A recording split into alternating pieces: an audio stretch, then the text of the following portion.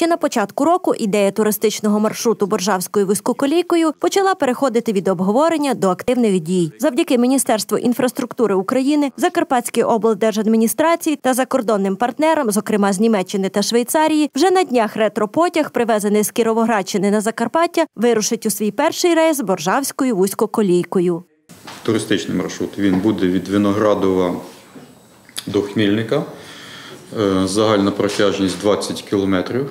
Е, Час 3 години. Під час подорожі туристи матимуть нагоду не тільки проїхатись ретропотягом, але й побачити різного роду атракції, які є візитівками Закарпаття. Сам проект отримав статус пілотного, а це означає, що триватиме він тільки один місяць. Що буде далі, сказати напевно, координатори проекту не можуть, оскільки сам ретроперевоз повинен повернутись на Кіровоградщину. Однак керівництво області через Укрзалізницю намагається домовитись, аби залишити його в краї і надалі. Разом з тим прагнуть відродити всю боржавську вузькоколійку.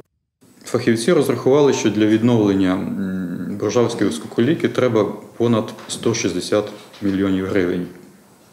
Зрозуміло, що область це е, не потягне. Це може потягнути тільки е, Укрзалізниця або Міністерство інфраструктури.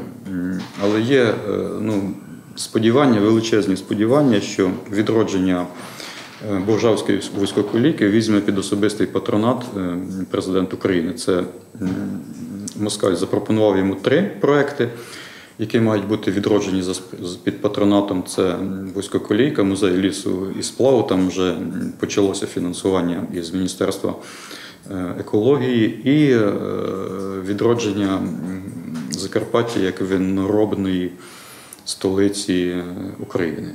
Як розповідає радник міністра інфраструктури, міністерство зацікавилось відродженням всієї мережі боржавської вузькоколійки. Однак втілити це в життя ще цього року, враховуючи фінансові затрати, неможливо. Тож пішли іншим шляхом, а саме поступовим відновленням вузькоколійки. І запровадження туристичного маршруту на відрізку від Виноградова до Хмільника цьому доказ.